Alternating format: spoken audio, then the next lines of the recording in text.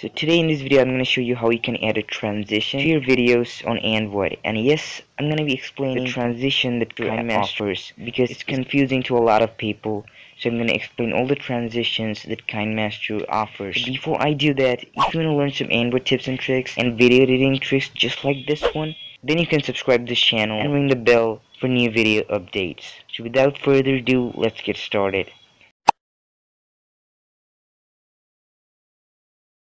So in order to have a transition, you need to have at least two clips. So you can either split your video into two parts, or you can add a video clip in the media like I'm doing.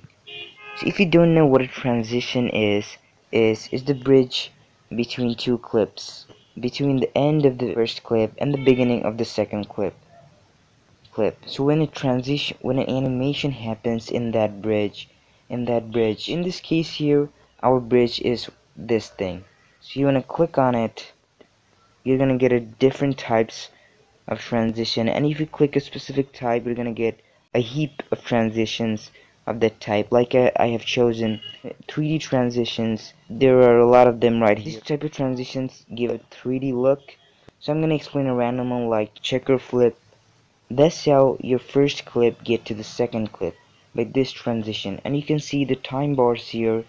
This is where you can control the speed or duration of the transition. You can keep it 2.0 that means the transition will long for 2 seconds. I prefer keeping it to 0.5 or 1.0 that's my preference. So that's how you add a transition.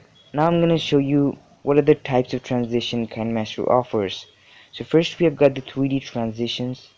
First we have got checker flips, strips, 3D zoom flip, we have bouncy box, that's my favorite of the bunch, 3D flip, and cracked glass. After that we've got some classic transitions, these are used for cinematic editing like zoom out, fade through, you can also get to change the color of the fade, I prefer using white, then you have cross fade after that we have got some fun ones. I don't use those often but they're fun like circle wipe like knock aside many circles. That's my favorite of this type. Heart wipe and lastly the star wipe. After that we've got picture in picture. These are also useful ones. Very attractive looking like colored tiles split screen, video tiles, corners, inset video. Then we have got a theme called Powerful on stage. Then we have the presentation. This is my favorite transitions in the whole app. Favorite transitions. Uh, these are the most used ones and most powerful and effective ones. Like split. You can make the split into vertical or corners. Then we have cover I use that often in my video. Then we have spin. You can make it outward or inward.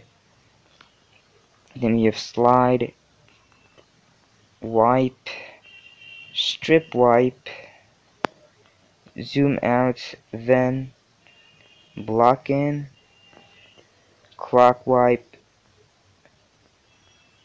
double split and my favorite one which is uncover. After transitions we have got some pretty good ones as well like sentimental theme.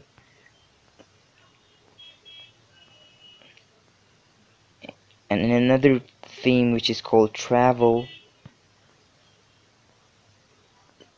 And another unique one is the text transitions where you can add text into a transition like the square title. And there you can see you can add titles you can add your text here. You can see in these four bars then the captioned inset you can get to you get to change the color of the text and the background. Then retro pastel